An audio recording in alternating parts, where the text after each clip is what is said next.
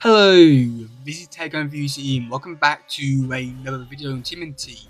In today's one, we're going to be taking another look back into the TMNT IDW universe, and today's one, we're going to be looking at the sort of upcoming um, issue 125, which will be coming in January 2022 on January 12th. Well, that's for now, that could change, as due to, well, most comics now being delayed by W. So excited about that. But still, uh, with this one, it comes with a big new surprise in terms of the TMNT universe. So, in January, we're going to be introduced to the Punk Frogs. So, originally, back in 2020, in issue 110, I'm pretty sure that was, was we got introduced, or got a, like a name drop about uh, the uh, Punk Frogs, which was like a gang that was uh, seen, spotted somewhere in Mutant Town. But we never actually got to see them or anything like that. It's only, it's only taken us up to this little point in time where, where we finally got to see them, and now we've got a little description for the actual issue. So first I'd like to talk about the punk frogs. So first off you can see uh, seven of them on the one cover, which they look really interesting and cool. Nothing like the 80s design where they were just frogs that wore costumes, and quite a bit different from the uh, 2012 ones, which I feel like trying to combine the two whereas like bigger tribe, more punk frogs, but also making them more unique.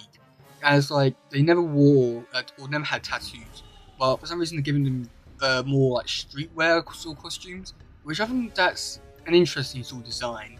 But the touts or tattoos, that's all going a bit too far for me. So in terms of the punk frogs, we've got the original four. we've got Napoleon, who's in the front. we've got Attila, who's in the back. we've got Genghis with the axe, and then Rasputin, uh, who's he's, he's had a change with, with weapons.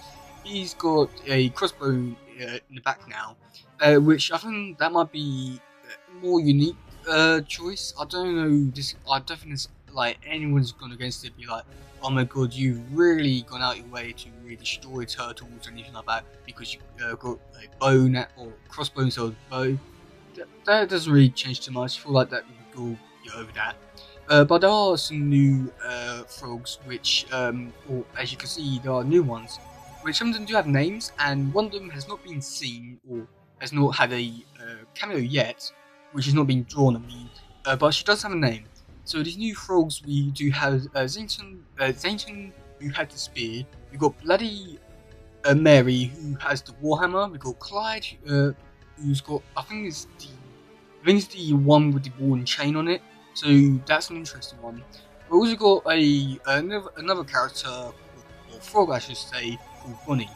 And according to uh, Sophie Campbell, she's apparently very special, but she's not uh, being shown anywhere. So there is potential for her to be like sort of sound like a queen or like the ruler for this gang in a way, or she could have something interesting about this character, but we don't exactly know or speculate just yet.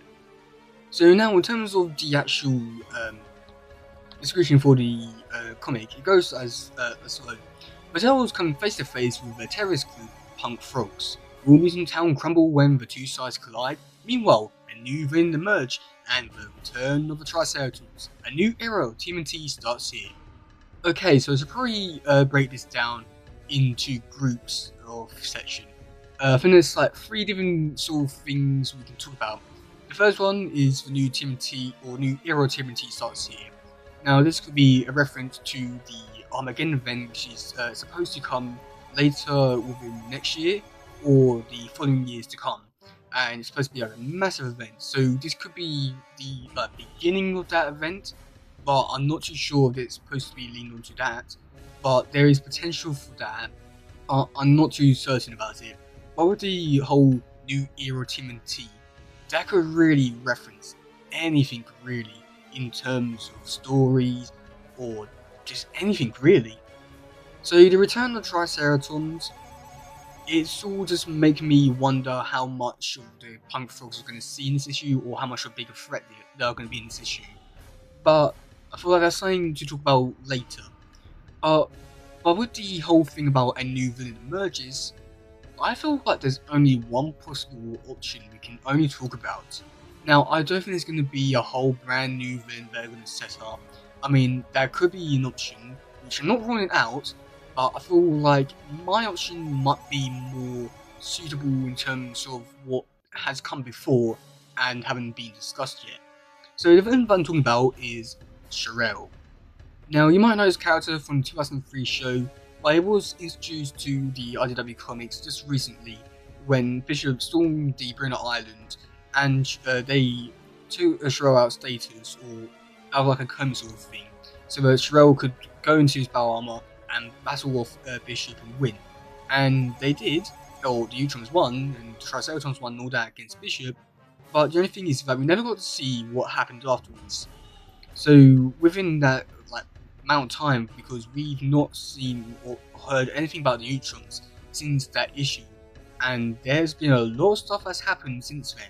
So with um, a character and a villain uh, such as big a threat as uh, Ch'rell, who's even trying to put him in under under stasis just due to him being powerful and crazy insane, I feel like there's a lot of potential for this villain being the new, like, big bad of the series. And with Triceratons coming to um, Mutant Town, I thought that's like the big option, or my biggest option, to where I think this series could be heading towards. I don't know if that's true or not, but I feel like that's where it's more likely to go. So now with the Punk Frogs, um, I've got my doubts with them now, just due to them only, well, now we're dealing with the Triceratons I feel like the Punk Frogs will probably start off as like being a big threat to Mutant Town and all that, but then as the issue goes on, they really find out that well, they're not that bad guys. When they talk things over, and then Triceratons come, it's not that. Or the other option which I could see them going down is just due to the fact that it could all go terribly wrong and go to a civil war, and the Punk Frogs want to take over Mutant Town, uh, get rid of Sally, something like that. But who knows? With the Triceratons coming, they could all, all, all the mutants could be in danger. And now that the Triceratons going to be going after another invasion, who knows with this series? I feel like there's a lot of potential. And not uh, with the most recent issue that just came out, which time of recording, which is 122, I feel like there's a lot of potential for this series in terms of where it's going. And with the Punk Frogs, I feel like he's one of those uh, sort of groups and characters will be like, just wait and see, and you'll uh, truly see if they were worth the wait or not. Um, and yeah, that's really all got for this whole little talk thing. I don't know if this is going to be something I'll be doing uh, every time a new comic comes or new description for a thing comes out, but I feel like I might keep doing this. As this is quite fun just to just think about what could happen and all that.